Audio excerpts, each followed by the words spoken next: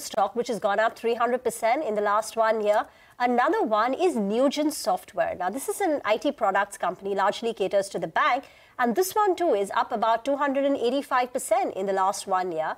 Well, uh, you know, the news is not like, you know, groundbreaking. They've just, the company's announced that the board meets next week on 27th, where they will consider a bonus issue. This will be the company's maiden bonus issue. Up until now, they've not done any bonus or stock split. Face value is still at 10 rupees per share. But, you know, in terms of the fundamentals also, uh, you know, the company's done well. So Q1 and Q2 were both very strong quarters for the company. In Q1, sorry, in Q2, the quarter gone by, sequentially, year on year, uh, sorry, quarter on quarter, the revenue growth was about 16.5%. And in the first half of the year, the company's revenues have gone up by 31%. And the company in the conference call also indicated that Q3, Q4 is going to be fairly strong for them.